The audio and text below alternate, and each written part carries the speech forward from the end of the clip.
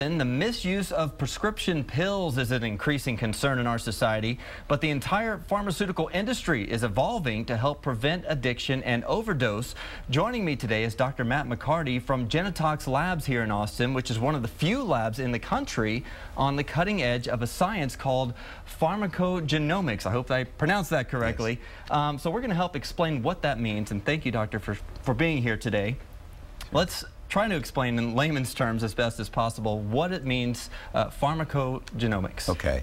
Pharmacogenomics is the study of the gene, uh, gene someone has and any mutations they might have and that might affect the way they metabolize drugs.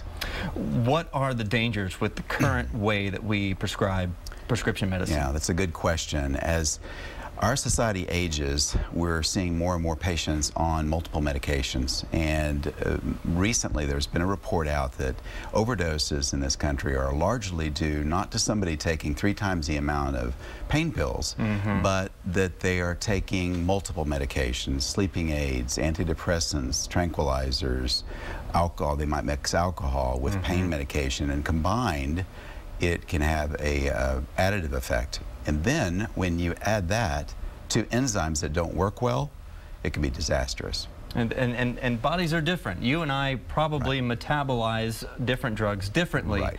Um, what will a new DNA test do for personalized prescriptions? Sure. Well, it, it, this field is evolving, and it's a subset of personalized medicine.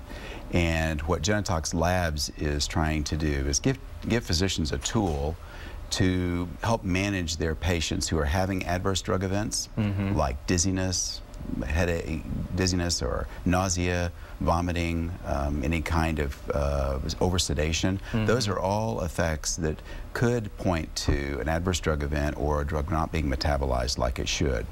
Now, um, you know, someone goes to the doctor, they get a blood test. Is this something that can be determined from a a blood test, or do they have to mm -hmm. request it, or is it should it be part of the standard procedure? Well, it's not yet part of standard procedure because we don't have any studies uh, really giving us promise that yes, you should test everybody. But the testing is simple. Uh, it's done through buccal swab testing, which you just take a small cotton swab on the inside of your cheek. You rub it about 10 times on each side in mm -hmm. four, four areas.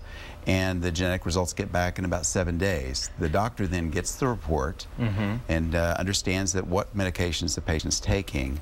And the report is helpful in that it gives recommendations of which medications might be uh, preferential given the patient's enzymes or their mutations. And this is particularly um, interesting for people maybe with heart problems, maybe with, that need pain relief, those type of medications. That's right. And uh, the big pharmacogenomics has been practiced in psychiatry for some time, for about mm -hmm. the mm-hmm. last five years.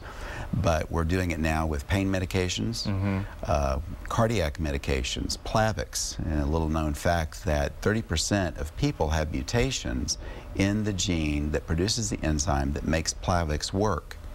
So it's very important that patients who go on Plavix know whether or not their enzymes are at full functioning capacity uh, so that the drug is having its effect.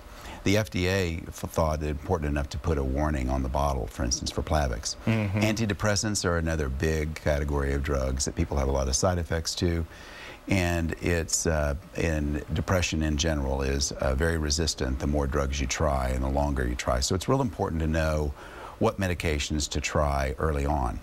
It's a very interesting science, and again, the, the, the future of the industry is evolving, and we've already seen the dangers of what uh, addiction and, and misuse of prescription yeah. pills can do. Thank you so much for being here today. Thank you for having me.